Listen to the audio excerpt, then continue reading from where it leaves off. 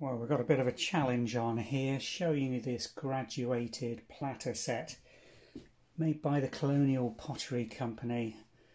Um, the date range on this is somewhere between 1893 and 1905 to 1910. The pattern is one called Malvern. It's a blue and white, almost Art Nouveau type design. These sort of little garlands of flowers and then the outer rim design really nice on this one. Let me show you the factory marks on here. Not particularly well executed on this piece.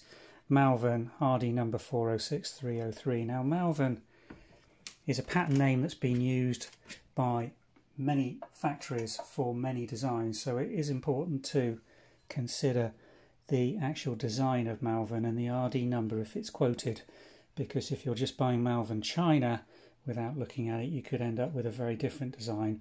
We recently listed some very nice greeny grey blue and white platters with rustic scenes in the centre, which were also called Malvern.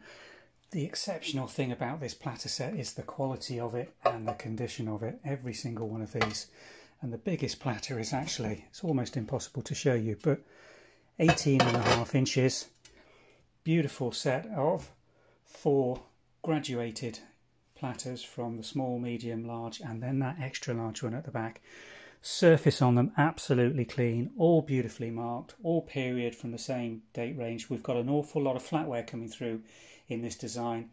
Big stack of dinner plates and dessert plates, which are going to be listed. So if you're looking for something to dress a really large dresser or a big piece of blue and white design, then this is really one to consider. They are going to be quite expensive because of the rarity and because of the condition.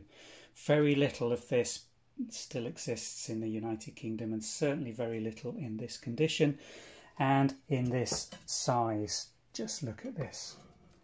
I really am a big fan of this set. I think it's absolutely gorgeous and if you're looking for a piece of blue and white that's a little off the grid in terms of not willow not Churchill, not one of the common patterns, but something that's really going to stand out and look really good on a dinner table, then don't think you can go far wrong with this set of Colonial Malvern. Thanks for watching.